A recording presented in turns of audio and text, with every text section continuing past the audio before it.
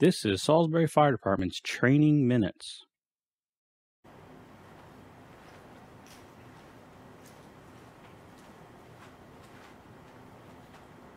David Haynes, training captain for the Salisbury Fire Department.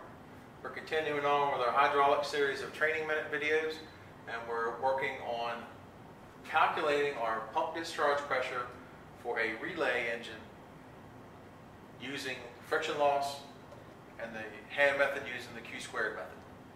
So in the previous training minute, we worked with three inch hose and we worked with a couple different flows to get our pump discharge pressure. We're going to move up in hose size and talk about four inch hose.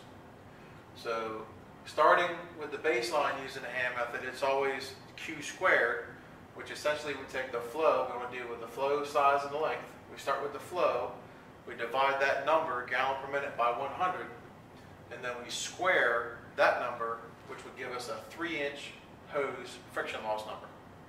Where we're going to go from three inch hose to any other hose size, we have to do a conversion factor with that number to get the friction loss for that hose size. And then with the length, that's accounting for the flow and the size, the length, we would take the length into 100 feet, divide that by 100, and multiply the final friction loss number per 100 feet times the length to get our friction loss. As you can see, we've got our formula set up here. We're calculating the pump discharge pressure in a relay setting. So instead of a nozzle pressure, we're going to use a residual pressure of 50 pounds. That's the pressure I'm giving from my engine and engine one to the driver operator of engine two. He has a residual pressure of 50 pounds at his pump panel on top of what he's flowing. So pump to pump, residual pressure of 50 pounds in a relay or supply setting. Q squared for three inch hose. When we go from three inch hose to four inch hose, the conversion factor is to divide by five. And that'll give me four inch hose. So we'll do an example here of four inch hose from engine one to engine two. Uh, we'll come up with a gallon per minute number of 600, 600 gallons a minute. And we'll say that it's uh, 500 feet of four inch hose. Uh, well, I will say 700 feet of four inch hose. So the first thing that we have to do, we count for our flow. We have 600 gallons a minute. So we're going to put that right here. 600. And again, the first step is to divide that by 100, which is essentially we knock off those zeros. So that gives me a 6. And then we start with the 3 inch hose number, which is always our baseline. So 600 gallons a minute, 6, and we use our hand method here on our calculator, 600, 700, 800, 900, or 1,000. And the memory jogger again is the multiplication sign here. So 600, 6 times 6, Q squared, will give me 36 pounds of friction loss for every 100 feet of 3 inch hose. And then we're going to go from 3 inch hose to 4 inch hose by dividing that number by 5.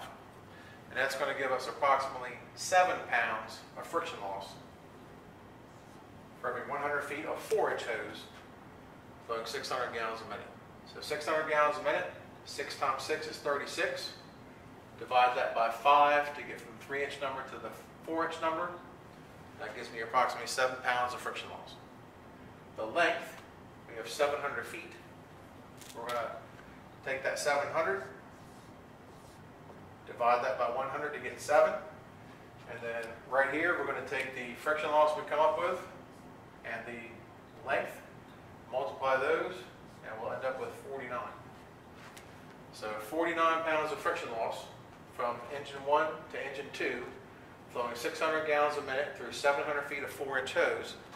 Friction loss of 49 goes here in our formula.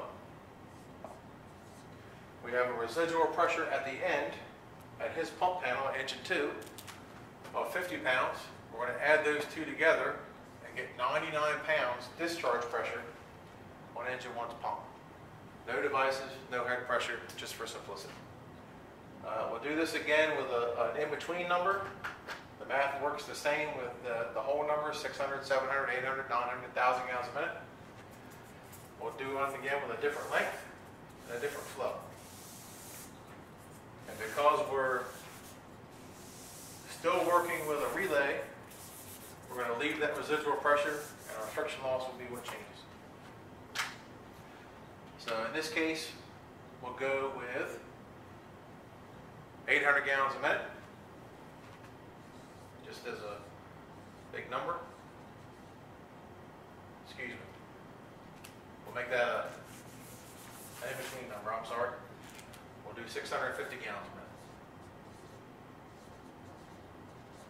And then we'll say it's uh, 800 feet of four inch hose. So the very first thing we do, we come up here to our flow, and because we're dealing with an in-between number, not a whole number, 600 or 700, we find where that falls between two fingers and cross multiplies. So not simply dividing by 100, but cross multiplying. So 650 gallons a minute, we're going to cross multiply. 600 700, 650 falls between the two. 6 times 7 is 42. and then to go from 3 inch hose, that's our 3 inch hose number, to 4 inch hose, we're going to divide 42 by 5. That's going to be approximately 8 pounds. Friction loss per 100 feet. We're going to come down here and deal with our length. So 800 feet of 4 inch hose, we'll take the 800, divide by 100, which is essentially knocking the zeros off. That gives us 8. And then we multiply the length times that friction loss. 8 times 8 should give us 64. No devices, no head pressure. So we add 64 and 15. And we should have 114 pounds of friction, uh, pump discharge pressure, which is the residual pressure of 50 and the friction loss of 64 from engine 1 to engine 2 and a relay pump to pump. Again, that's the quick down and dirty training minute using the hand method with conversion factor for 4 inch hose to get the friction loss and the calculating the pump discharge pressure for a relay from engine 1 to engine 2. Thank you.